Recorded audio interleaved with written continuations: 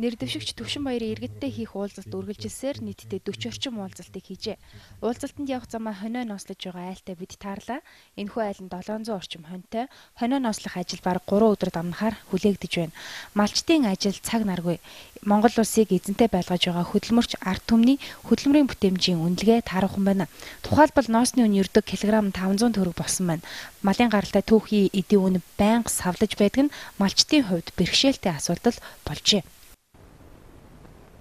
Төрөөс одоо энэ малчтыг яг юу ямарлах юм. Ноос ноолуур дарна жахан дэмжлэг өгмөр байна. Хоньны нэхийхэд одоо 100 төгрөг байна. Одоо хөөвөрөхөд 12 мянга бол энэ жил 5 мянга болсон байна. Энэ огцон могцом тийм уналттай байна. Энэ одоо ямар учиртай байдгийг. Нэг одоо хөөвөр ихэд 12 мянган төгрөг, ноосыг 1 мянган төгрөгөнд барьдаг баймаар. Одоо оригинал чи мянган төгрөг байсан шүү дээ. Тэгсэн чи одоо ингээл жил ирэх тусам хөөвөр хялгас хоньны ноос ноолуурын үн бол ер нь буугаад л байна. Тий. Одоо малын гаралтай бүтээгдэхүүний үнийг л нэг жахан доктортай нэг гайгүй дээд үнэнд барьж өгмөр байна. Тэгвэл малчдын амьдрал бас дээшлээ шүү дээ. Малчд ч бас хөөдөнд нь хөрж тийм халуунд нь алж цаг наргүй ингэж л байнга л ажилтаа болсон шүү дээ. Уг нь бол тийм ээ.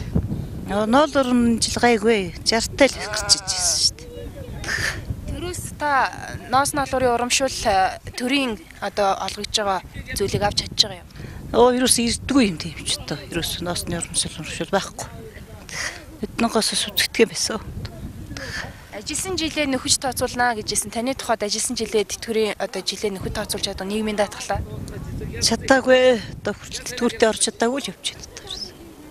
Тэгээ ингээд Балчтын амьдралыг төвшин баяр аврах хинээс ч илүү мэднэ. Учир нь тэрээр мал хариулан хөдөөгийн игэл бор амьдралаар хүмүүцсэн нэгэн иймээс улс төрд орж их хурлын гишүүн болсныхаа дараагаар малчтад чиглэсэн бодлогод төлхөө анхаарна гэж хэлж байгаа юм. Малчин хүмүүсийн хөдөлмөрийг шударгаар үнэлдэг байх ёстой. Үүний төлөө тууштай ажиллана хэмээн нэр дэвшигч маань хэлж байна. Монгол Монголын маань эдийн засгийн гол төлөөр бол мал аж ахуй. Өнөөдөр бол малын түүхэд бол маш хямдхан болсон байна, үнэгүй болсон байна гэж олон хүмүүс ярьж байна. Аа мөн мал маха эргэлтэнд оруулахгүй бол малын үн хямдхан байгаас болж мал их өссөн байна. Бэлчээрийн даац хэсүү хэцүү асуудалтай ийм асуудлууд бол тулгарсан байна. Тэгэхэд өнөөдөр Баян Хонгор аймагт маань зунжлага их сайхан болсон. Хоноо ер нь нослоод их их одоо нослцсон.